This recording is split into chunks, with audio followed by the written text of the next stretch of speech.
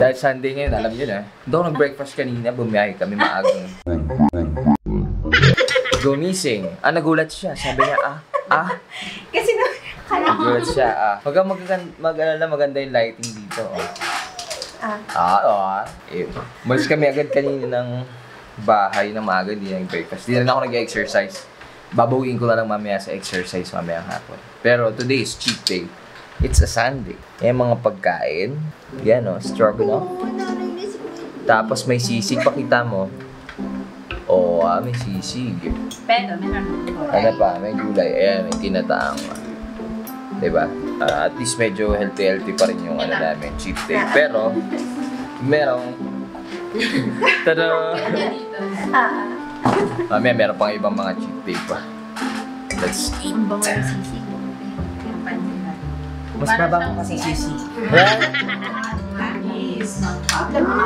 Shubay, ka na. Tinola. Sinigang matamis. Ah, gusto mo lang. Adobo. Adobo matamis. Ah, Meron siya, meron tayo inulam dito na bet na bet na. Ano, kare-kare? Kare-kare. Nga sila. Aldereta. Bili niya. ano paborito mo ulam? Ano pa ba mo ulam na? Stopalu. Stopalu. Mami. Ano ba favorite mo ulam? Hanggang daw. Wala. Sinigang na fish. Hindi, sinigang mo. Sinigang. Ha? ano naman ang sinigang? Sinigang na tubig, no? Ano baboy? Pork o fish? Sige na. Fish. O hipon? At oo, hipon. Di ba favorite mo? Oo nga. Dahil mo kumain.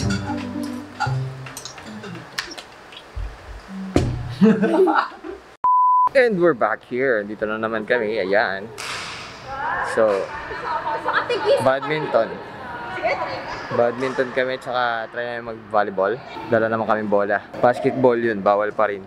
Nakasingit lang tayo last week. So, let's go!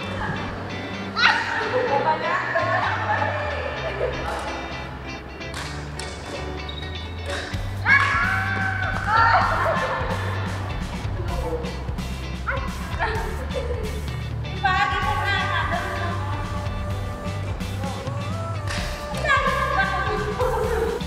galing nyo, ang dami nangyayari.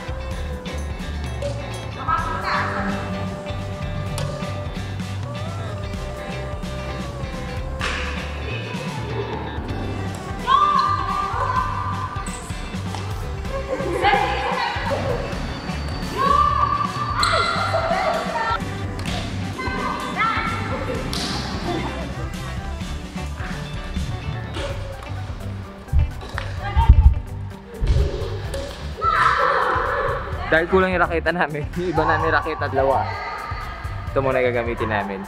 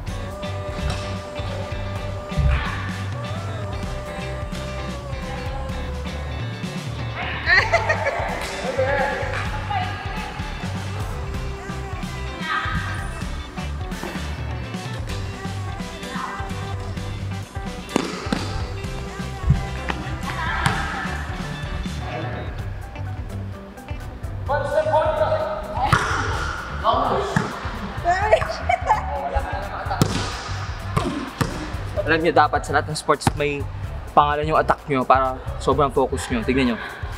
Wala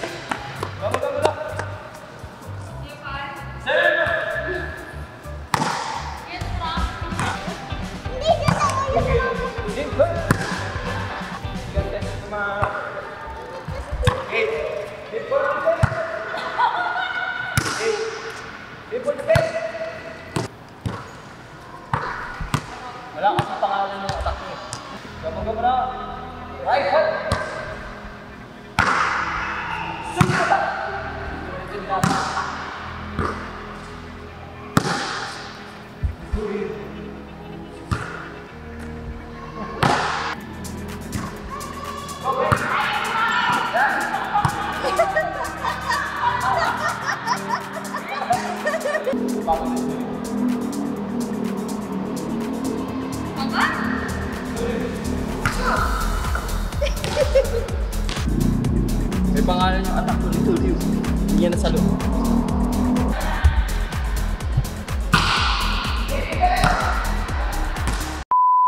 Hi guys, dinner time. Sabi ng kapatid ko, pag nagsasalita ako ng mga malulupit ka mga words sa wisdom, yung ano niya, mampansin, mampansin. Paano, paano? Hoy, wow! Mo yung boss. Paano, paano? Ano ba yun? Ito. Paano yung pag ano sinabi? Sinali si Mulita. Ganun daw, mahina. Mapansinin. Ikaw nga, Nana, gayahin mo nga. Ayaw. Ayaw. Mudra ko. Mudra kills, oh. Hi! Sabi niya ganun. Kita po. Baka balik May kaya niyo yung mga vlog ni Sir recipes. Yeah. At i-subscribe niyo siya. Hit the notification. Oo, kasi yan. Para sa akin yung Ah. Yeah, oo. Oh, ba na to? Alright, alright. Si Burankit. Ano ka? Dinner namin ngayon ay... ah cheat day ngayon eh. Cheat day, cheat day. Nasunog na siya. Yan. Pin, pinrito lang na sunog pa. Balik. Yan, oh. Tapos ano yan? Ay, yung stroganoff. Yan, stroganoff. Tsaka yun, the best. Oh. Kikiam, fishball. Yun. Ayan, strong. Di ba ang gulo nila mag-usap sila dyan, bala sila dyan. So, hindi ako magkakanin. Ang kakainin ko yung fishball tsaka yung cake cam. Right, let's eat. Hi, good morning. Uh, oh, haba ang buhok ko, haba hair. Yan. Ngayon lang yata ako nag... Yan lata, ngayon lang yata ako nag-vlog ng ano, no, ma, naka-long hair. Um, hindi ako nag-exercise, pero kakain na ako ngayon. Siguro ito yung unang araw ko dun sa 30 days challenge na. Pahinga sa exercise. Pero tingnan natin mamayang hapon. Kapag uwi dun sa Rizal, mag-exercise din ako. Pero ngayon, nantok pa ako. Punta kami kanya sa hospital kasi pa-x-ray si Papi. Kain tayo. Pagkain niyan ay, anong tawag dyan? Chicken wrap. Chicken wrap. Ayan. So, anong meron dyan? Mm, bell pepper. May bell onion, pepper, onion. chicken, and cheese. Bell pepper, onion, chicken, and cheese na rin yun naman, di ba? Tapos yung ating uh, laswa. Vegetable soup. Yan. Papi, kumain ka na? Yan. Yung kanin, konti lang. Babawasan ko yan, hindi ko yan naubusin. Alright, let's eat. Eh, what's up, what's up? Tanghalian is 3.30. Kasi late na kami nag ano, breakfast kanina. Alam niyo naman yan, hindi talaga eksakto sa normal na oras ng pagkain. Normal na oras ng pagkain yung pagkain namin minsan. Ayos tayong buhok. So, ang lunch namin ngayon ay ay naka red rice. Naka red rice na. Bumben, nagbalik loob na kami sa red rice. Yan, red rice. Tapos, itong ah, itlog. Scrambled egg na merong meron siya ampalaya. Yan, kita nyo ba? Yan, may ampalaya siya. Tapos yung scrambled egg na yan, hindi yan yung equal na number ng egg white and egg yolk. Siguro kasi nasa 8 eggs to eh. Sinati ko, dalawang, dalawang pre-pack. Yung apat na egg yolk lang ang sinama ko dun sa 8 eggs. Kasi yung ano, yung egg yolk, maano yun. Although rich in, ano naman siya, in vitamins at saka yung good cholesterol. Medyo madami yung fats niya compared sa protein lang ng egg white. So, dahil meron naman ng apat, so parang bali pinati ko sa dalawa, parang dalawa to, ah, okay na yan. Tapos, hihingi na lang ako kay misis ng, ano, ng chicken legs. Ito yung sa kanya, pre-pack din yan. Alam nyo, alam ko, nakita nyo na to. Dun sa iba nating ah, videos. Yan, hingi lang konting chicken sa kanya. Pero ito naka-brown rice pa. Yan pa yung natira eh. Dun sa huling batch ng brown rice namin. Let's go, let's eat. Saan mo nilagay yung, ano, apat na egg yolk? Ito kakainin mo, hindi ganun din. Kung di nakainin ko. Mm.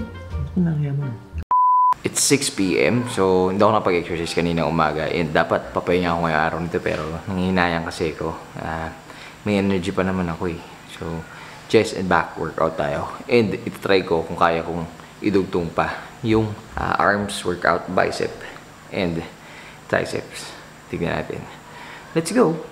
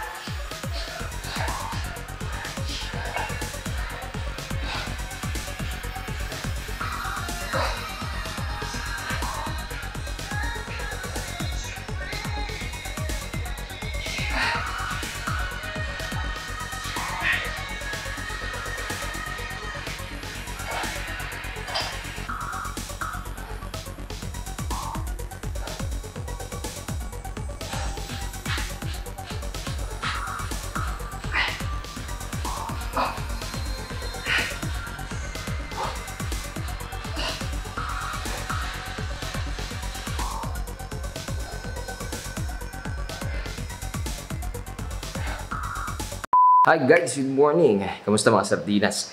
It's actually our 29th day. Ang mo yun, 29th day. Bilis, bilis, di ba? Bukas is uh, 38th day na natin. Way ako after ng 30th day natin so pa sa makalawa. So ngayon, hindi mo na ako magtitimbang para surprise surprise. Pero nagtitimbang ako daily, alam ko yung timbang ko. Pero surprise ko muna kayo kung ano nangyari sa akin sa timbang ko. So today, our 29th day, tayo ay mag uh, abs exercise, core exercise and cardio. Siyempre, alam nyo na yun dyan. Crunches, leg raises, at saka yung bagong ginagawa ko nakalimut. V-shred ata ang tawag doon. Tapos ay mamaya sa hapon gagawin natin either mag-bike tayo or mag-jogging. Ah, tapos leg exercises. Tulad ng ginawa kong last na video. Na today, yan, cardio muna, ah, ab workout muna tayo and then cardio. Di pa ako nagbe-breakfast, so bisa na natin yung exercise, shower, para makapag-breakfast. Let's go!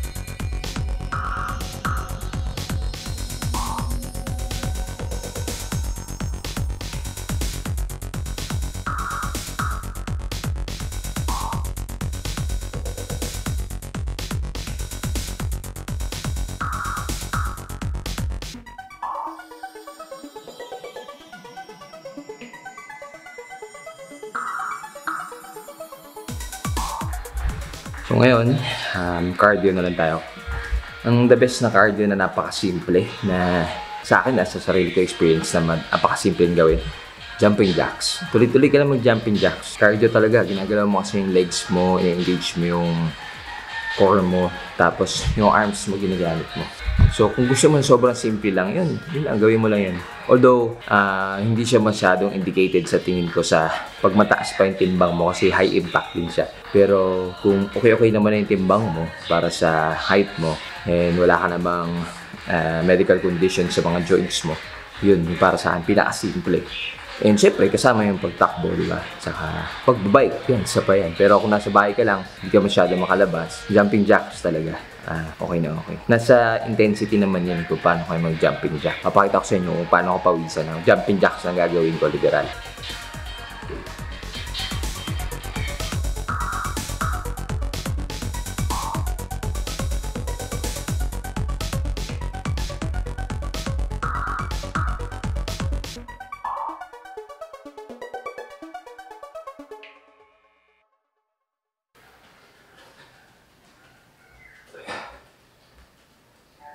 So, 100 yun.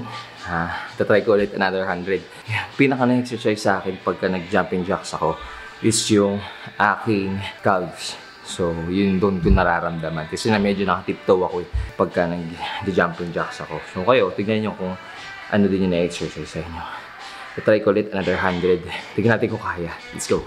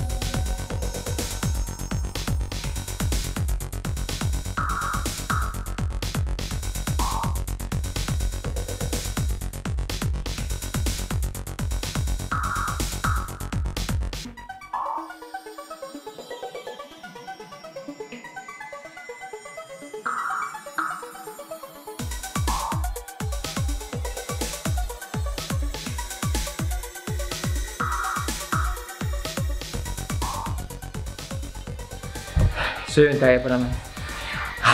Ang sakit na lang ng calves ko. Pero okay naman. Kaya hiningal ako.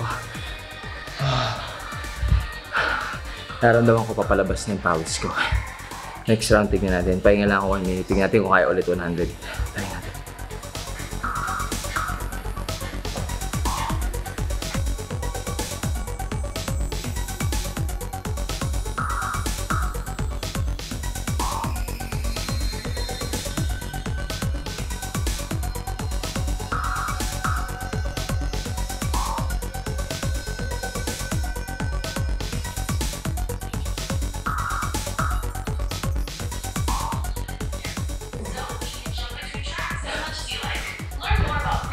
So yun, another 100.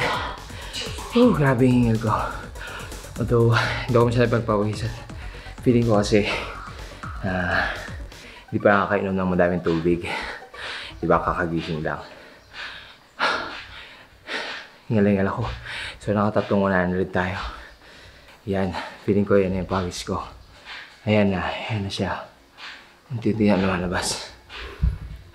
Yun.